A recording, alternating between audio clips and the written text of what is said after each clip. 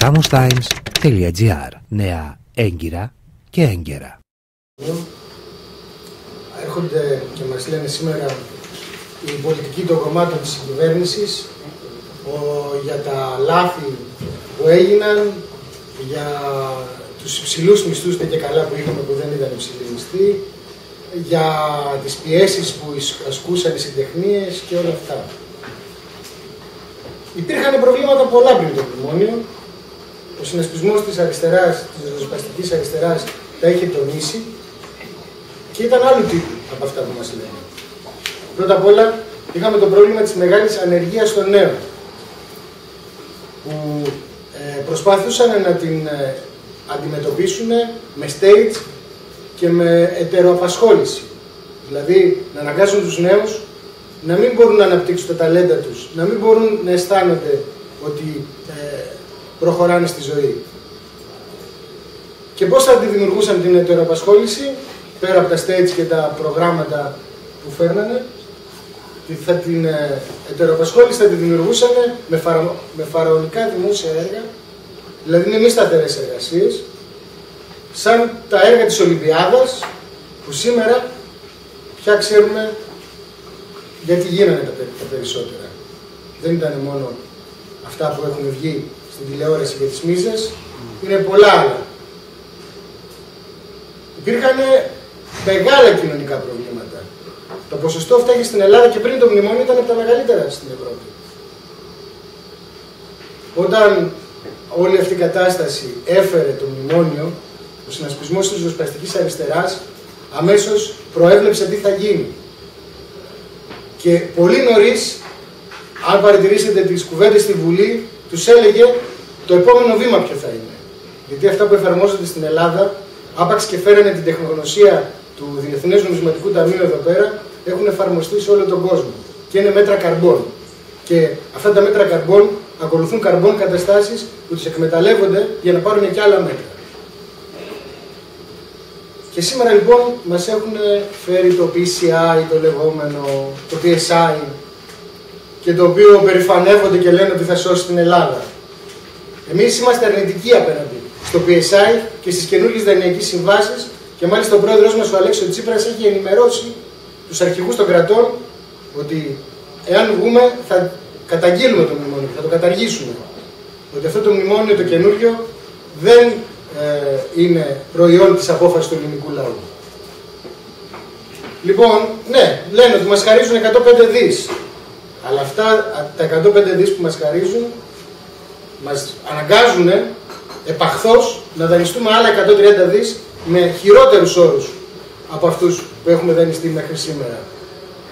Μας αναγκάζουν να δανειστούμε με διακρατικές συμφωνίες, ενώ τώρα τα περισσότερα τα χρωστούσαμε στο ιδιωτικό κεφάλαιο, μας αναγκάζουν να χρησιμοποιήσουμε το αγγλικό δίκαιο και εμπράγματες, ε, εμπράγματες δεσμεύσεις, μας αναγκάζουν να πάρουμε ένα πολύ μεγάλο ποσοστό δανεικών για να στηρίξουμε τις τράπεζες.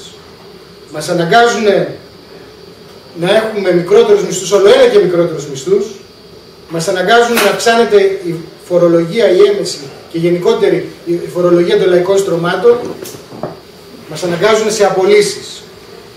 Αυτό το πράγμα δεν φέρνει ανάπτυξη. Ήφεση φέρνει.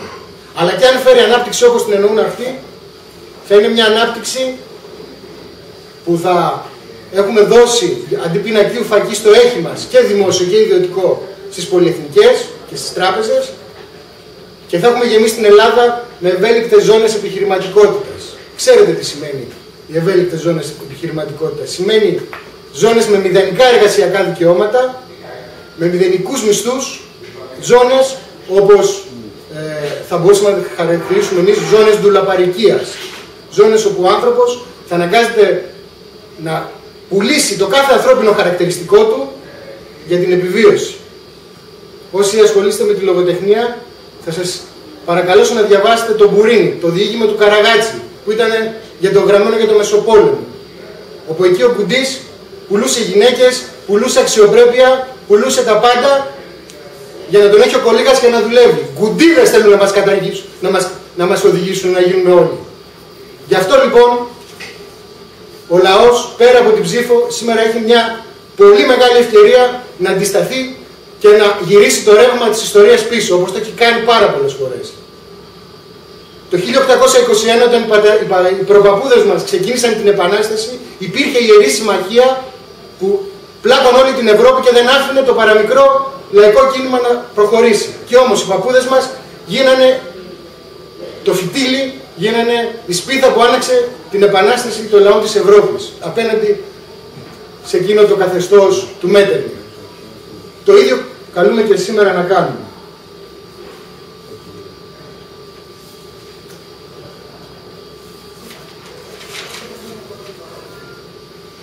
Και βέβαια μέσα στο καινούριο μνημόνιο έχουν προβλέψει ότι θα γίνει συνταγματική τροποποίηση. Έτσι όλα αυτά να τα περάσουν και στο ελληνικό σύνταγμα. Πρέπει να σκεφτεί πολύ σοβαρά ο λαός. Γιατί σε αυτές τις εκλογές. Γιατί έτσι και πάρουν σε 180 ψήφους θα έχουμε ένα χωτικό σύνταγμα. Ένα σύνταγμα σαν αυτό που προσπάθησε να επιβάλλει ο Παπαδόπουλος με την δικτατορία.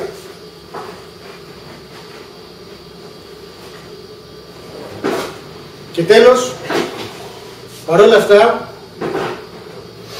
ακόμα και σήμερα, ακόμα και νεοφιλελεύθεροι οικονομολόγοι, ακόμα και άνθρωποι που δουλεύουν στους οίκους αξιολόγησης, που δουλεύουν στις τράπεζες, λένε ότι θα χρειαστούμε νέο σώσιμο. Θα χρειαστούμε ακόμα μεγαλύτερη δίφυση και μάλιστα σε έξι μήνες από τώρα και γρηγορότερα. Άρα αυτό που υποτίθεται ότι πάνε να σώσουν τη χρεοκοπία και τη, να σώσουν τη χώρα και όλα αυτά είναι κουραφέξαλα και στην πραγματικότητα πάνε να σώσουν αυτούς για τους οποίους δουλεύουν και να βυθίσουν το λαό εντέχνος χρησιμοποιώντας τα μέσα μαζικής ενημέρωσης στα κυρίαρχα πάνω στην Αθήνα να το, να το βυθίσουν σε μεγαλύτερη απόγνωση. Βγήκε λοιπόν και η Goldman Sachs και λέει ότι οι Έλληνες την τελευταία εβδομάδα θα πάμε στα μεγάλα κόμματα γιατί εκεί νιώθουμε ασφαλείς. Στα πρώην μεγάλα κόμματα γιατί νιώθουμε ασφαλείς.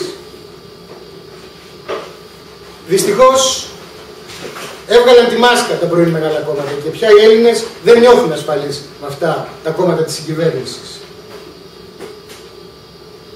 Μπορεί να φανούν τώρα σε εκλογές λιγάκι ελκυστικοί, να φωνάξουν ε, διάφορα λαμπερά πρόσωπα, να ε, πουλήσουν λίγα παραμύθια ακόμα, αλλά δεν μπορούν να, να γίνουν ελκυστικοί. Η αριστερά και γενικότερα οι δυνάμεις της εργασίας, οι δυνάμεις που βασίζονται στους ανθρώπους που δεν έχουν άλλη δύναμη στη ζωή τους παρά μόνο την εργασία τους, η αριστερά θα χάσει τις εκλογές εάν τους αφήσει να κάνουν όλα αυτά. Δεν θα τις κερδίσουν αυτοί. Η αριστερά που πρέπει να δώσει την ελπίδα στον κόσμο, πρέπει να δώσει την ελπίδα στον κόσμο για εδώ και τώρα να γίνουν κάποιες αλλαγές. Όχι για μετά από 10 χρόνια. Γι' αυτό λοιπόν και εμείς απευθύναμε πρόσκληση και στα άλλα κόμματα της αριστεράς και γενικότερα στα κόμματα που μάχουν το μνημόνιο να συνεργαστούμε για να υπάρξουν εδώ και τώρα αλλαγές, να υπάρξει εδώ και τώρα ελπίδα. Μας λένε και οι σύντροφοι των άλλων, όχθων, ε, των άλλων μεριών, ε, αλλά και οι πολίτες, μα τι ελπίδα υπάρχει. Είμαστε παντού ε, περικυκλωμένοι από παντού. Έχουμε μιλήσει για τριετή αναστολή των πληρωμών. Αντί το, αντί το PCI, αντί όλα αυτά τα μέτρα τα βάρβαρα, έχουμε μιλήσει για τριετή αναστολή των πληρωμών. Γιατί τι ζητάμε αυτό; Το ζητάμε γιατί πιστεύουμε ότι μπορεί να υπάρξει μια πανευρωπαϊκή ρύθμιση των χρεών. Και δεν, δεν είμαστε μόνοι μας. Όλος ο Ευρωπαϊκός Νότος και όχι μόνο υποφέρει από τα χρέη που έχουν δημιουργηθεί έχουν δημιουργηθεί επειδή ακριβώς τα κράτη δανειζόταν από το ιδιωτικό κεφάλαιο με χειρότερους όρους από αυτό που δανειζόταν οι επιχειρήσεις τα προηγούμενα χρόνια. Διότι η Ευρωπαϊκή Κεντρική Τράπεζα δεν μπορούσε να ασκήσει το ρόλο της. Είναι η μόνη τράπεζα, σε αντίθεση με την Κεντρική Τράπεζα της Αμερικής, που προστάτευε το κεφάλαιο και έχει τα κράτη την οποία την αποτελούσαν. Λοιπόν, όλος ο Ευρωπαϊκός Νότος υποφέρει. Δυστυχώς είμαστε το πρώτο χειρό στο χαράκωμα που χτυπήθηκε. Και είμαστε το πειραματόζω όπως λένε. Και από εμάς θα πάρουν δύναμη και οι άλλοι. Ο Μελανσόν στην ε, Γαλλία που έχει εκλογές μαζί με εμάς, η Γαλλία, βγαίνει πάρα πολύ δυναμωμένος. Είναι ο αρχηγός του μετώπου της αριστεράς. Βγαίνει πάρα πολύ δυναμωμένος. Αναγκάζει τους σοσιαλιστές να μιλάνε για πράγματα που μέχρι τώρα τους σοσιαλδημοκράτες και τους σοσιαλιστές να μιλάνε για πράγματα που τα είχαν ξεχάσει δεκαετίες.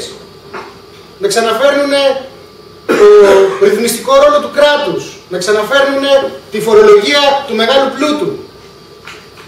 Δεν είμαστε μόνοι μας. Ήδη σας είπα για τη Γαλλία. Στην Ιταλία η κυβέρνηση του Μόντι, παρόλο που στηρίζεται από τα δύο μεγάλα κόμματα, παραπέει. Κάθε μέρα βγαίνουν καινούργιοι και λένε ότι τελειώσαν τα ψωμιά της. Στην Ισπανία και στην Πορτογαλία ο κόσμος παίρνει θάρρος και βγαίνει στους δρόμους. Και πέρσι δεν υπήρχαν αυτά τα ποσοστά στην αριστερά, αλλά ο κόσμος ήταν στους δρόμους. Δεν ξέρουμε τι θα γίνει του χρόνου στην Ισπανία και την Ιταλία. Άρα το να ζητάς τριετή ε, περίοδο χάριτος, έστω και μονομερή, σημαίνει ότι βάζεις το φυτίλι για να δημιουργήσεις μια συσπήρωση των χωρών του Νότου και γενικότερα των χωρών που έχουν οι λαοί τους τα μεγαλύτερα προβλήματα για την πανευρωπαϊκή αλλαγή. Και έχουμε βέβαια και άλλα εργαλεία, όπως είναι ο λογιστικός έλεγχος του χρέους, όπου θα αποκαλύψει πραγματικά τι γινόταν όλα αυτά τα χρόνια και αν τα δανειζόμαστε για να δίνουμε στους μισθούς ή για να δίνουμε σε φαραωνικά δημόσια έργα, σε εξοπλισμούς και όλα αυτά για να εισπράττουν κάποιοι μίζες. Ανέφερα ότι οι Γάλλοι σοσιαλιστές έχουν ήδη ξαναφέρει στην ατζέντα προτάσεις σοσιαλιστικές που είχαν, τις είχαν ξεχάσει χρόνια. Ήδη οι πράσινοι της, Γαλλίας, της Γερμανίας επίσης λένε τις προτάσεις αυτές. Να πούμε λοιπόν ποιες είναι αυτές οι προτάσεις. Ενός εναλλακτικού οικονομικού μοντέλου. η παραγωγικότητα των επιχειρήσεων δεν θα είναι συνάρτηση της μείωσης του εργατικού κόστους, αλλά συνάρτηση της αύξησης της επινοητικότητας, αύξηση της, των γνώσεων, αύξηση των άλλων ε, χαρακτηριστικών της παραγωγής και όχι των χρημάτων που παίρνει κάποιος εργαζόμενος για να δώσει τη δουλειά του. Έφαση στις μικρομεσαίες επιχειρήσεις στήριξη των συνεταιριστικών επιχειρήσεων σε όλους τους τομείς της οικονομίας. Και όχι μόνο στον αγροτικό. Υπάρχουν σχολάζοντε επιστήμονες σήμερα πάρα πολλοί επιστήμονες που είτε φεύγουν στο εξωτερικό είτε δουλεύουν ε, σε, άλλα, σε άλλους χώρους που δεν βγάζουν προς τα έξω αυτά που έχουν μάθει. Είναι ένα ανθρώπινο δυναμικό, είναι ένα κεφάλαιο. Σχολάζουν αυτή τη στιγμή που χάνεται. Θα μπορούσαμε με συνεταιριστικές επιχειρήσεις νέων επιστημόνων να δημιουργήσουμε και εδώ στον τόπο μας από αύριο δουλειές αρκεί να υπάρχει από πίσω ένας δημόσιος πυλώνας. Δημόσιες τράπεζες, ειδικού σκοπού. Τράπεζες για την αγεωργία, για την πρωτογενή παραγωγή. Τράπεζες για τη βιοτεχνία. Τράπεζες ε, για την αλληλεία. Τράπεζες για οτιδήποτε μπορεί να υπάρξει που να στηρίζουν και να δίνουν πίστη σε αυτούς τους ανθρώπους. Αντί να μην έχουν να πληρώσουν ούτε το ρεύμα τους. Σας μίλησα για τον ισχυρό δημόσιο τομέα, σας μίλησα επίσης για τον έλεγχο μέσω του τραπεζικού συστήματος. Να σας μιλήσω και για τον τουρισμό που μας ενδιαφέρει. Ο τουρισμός της χώρας της, του νησιού μας, όπως και άλλων νησιών της Ελλάδας και άλλων τόπων της Ελλάδας, βασίστηκε στο λεγόμενο μοντέλο το εκτατικό. Έρχονται εδώ, γεμίζουν τον κόσμο ξαπλώστρες, γεμίζουν τον κόσμο φτηνά δωμάτια και κανείς δεν νοιάστηκε να τονίσει τα χαρακτηριστικά του τόπου μας. Να να, να, να μπορέσει να φέρει τον εναλλακτικό τουρισμό. Τον τουρισμό που είναι ε, κοντά στον πολιτισμό, τον, τον πολιτισμό το, της φύσης, τον πολιτισμό ε, όλων αυτών το, όλα αυτά τα χαρακτηριστικά που θα μπορούσαν να μας φέρουν να μας ανοίξουν σε καινούργιες αγορές. Αυτό τον τουρισμό θα στηρίξουμε εμείς.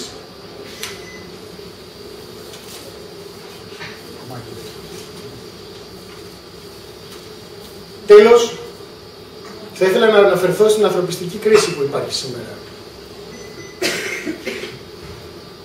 Σήμερα υπάρχει ανθρωπιστική κρίση στην Ελλάδα και θα αυξάνεται μέρα με τη μέρα. Και μάλιστα από αυτό εδώ το βήμα καλώ τους ανθρώπους που για κάποιους λόγους δεν πολύ πιέζονται από την κατάσταση και σκέφτονται να ψηφίσουν τα μεγάλα κόμματα να μην το κάνουν αυτό και να ψηφίσουν συνασπισμό ριζοσπαστικής αριστεράς, γιατί μόνο έτσι θα αφήσουν μέλλον για τα παιδιά τους, θα αφήσουν χώρο για τα παιδιά τους.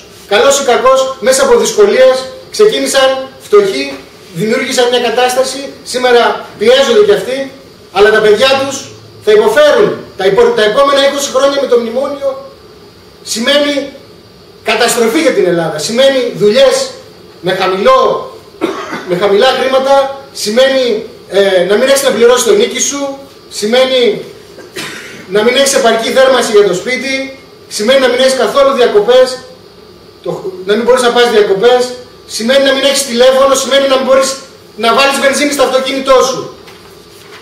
Θέλουν μια τέτοια κατάσταση. Πρέπει να επιλέξουν. Παίρνει, ο καθένας παίρνει την ευθύνη του τη σημερινή μέρα. Να πω ότι κατά 25% αυξήθηκαν οι άστεγοι στην Ελλάδα τη διετία 2009-2011.